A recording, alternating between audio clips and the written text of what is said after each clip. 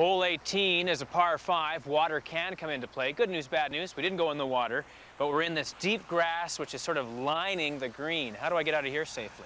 Well, Gord, a lot of people have a tendency to want to try and dig the ball out of long grass like this and quite often results in a, a flub shot. So I'm going to show you a little tip. But rather than fighting against the grass, we're going to tilt the club at an angle so it slides through the grass a lot easier. Less resistance from the club so you can get the ball up and going? Exactly. All righty.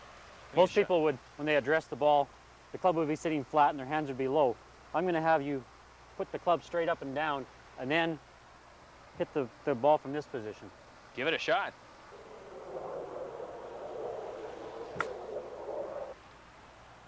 So don't fight the tall grass, adjust the lie of your club. Another great tip from Jeff Lubin on the links of Glen Eagles. That's pretty close. Golf with Gord is brought to you by the links of Glen Eagles in Cochrane.